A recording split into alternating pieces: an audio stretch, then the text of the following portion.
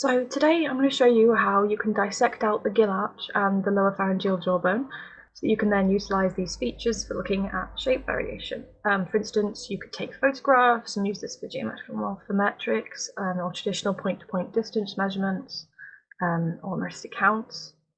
Um, there's lots of different uses really. So um, first step, um, we can access all these elements underneath this flap, the operculum, and underneath you can see the gill filaments quite clearly. First step is to separate the gill arch from the head using the scalpel by disconnecting it at the top and the bottom, making sure not to damage the actual gills or the pharyngeal apparatus behind the gill. So once you've um, detached it at the top, you can work your way down the bottom carefully just making sure, again, not to damage any parts of the gill filaments and just taking as much time as you need.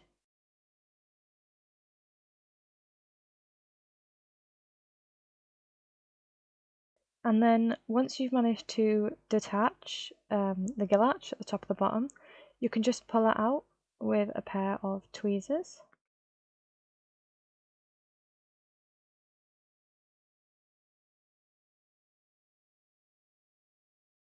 And then here you can see the gill arch with the filaments on one side and the rakers on the other.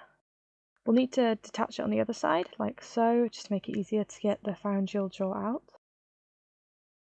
Now, to get the actual uh, lower pharyngeal jaw out, you need to disconnect it at the bottom, which is where the blade is, and then also slice it underneath. And then once you've disconnected it at the bottom and underneath, you can disconnect at the top, where it's connected um, its horns are connected with muscles.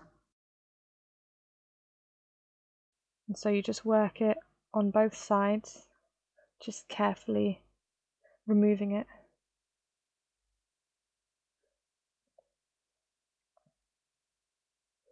And then again, once it's been uh, detached, just pull out with a pair of tweezers.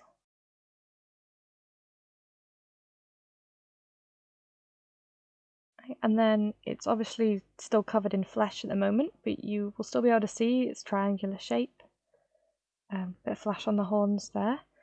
And then after this, you can clean all the flesh off, and then here you can see most of the flesh has been cleaned with the horns and the teeth visible.